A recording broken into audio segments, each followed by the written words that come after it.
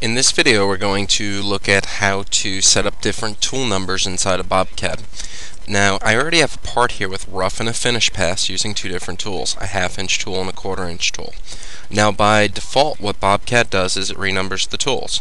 You'll see that the first tool called is tool 1, the second tool called is tool 2. Now there's two different ways to address this, the first of which is to just manually edit these. Now to do this what we'll do is we'll right click milling tools and we'll go to Verify Tool Assignment. In here we can uncheck the Use Automatic tool numbering, select the tool number, and then apply the change that we want. Let's say that this is Tool 6, the first one, and the second one let's go ahead and call Tool 7. We'll leave Use Automatic tool numbering unchecked, then click OK. Now when we repost the program you'll see that it called Tool 6 and Tool 7 as we described in the Verify Tool assignment. Let's go ahead and check this box again and renumber the tool so it goes back to the automatic tool numbering. And we'll post the code again. Now you can see it's gone back to tool 1 and tool 2.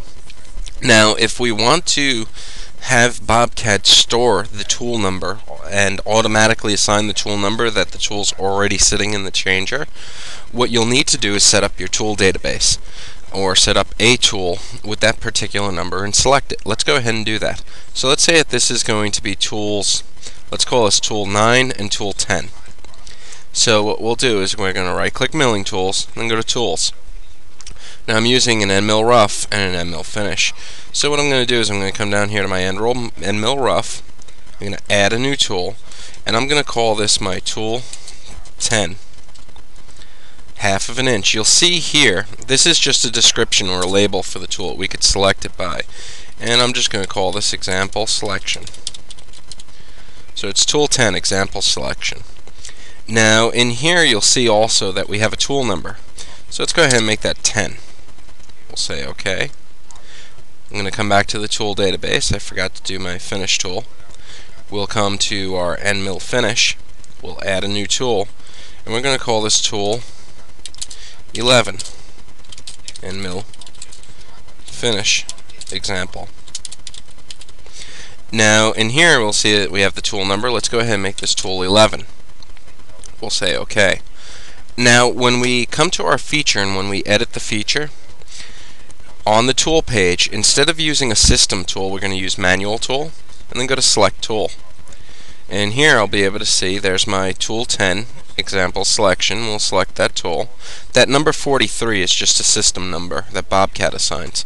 You'll see here it's already filled out our tool number as well as our tool type and description. Let's go to our finish tool and we'll do the same thing. We're going to go to manual tool, select tool, and then we'll grab our tool 11 and we'll finish example. We'll say OK, click OK again, and then recompute the toolpath. So as long as if you're using manual tools that you've set up the data in, when we come over here and post the program, you'll see now this is tool 10 and tool 11. So it automatically, when you select manual tool inside of the feature, it will assign the number that you have in here. Now you can also override these settings. At any point, compute your toolpath, and then post the code. And you'll see it the updates change. Now, one thing to keep in mind when you're using manual tool and system tool, you really want to pick either or. You don't want a combination of the two. And one of the reasons is, is the numbering. It could try to step over itself with the same numbers. So if you want to assign your tools, you'll want to go ahead and set up your tool database and use manual tool for the tool selection and the numbers will come out accordingly. And that concludes this video.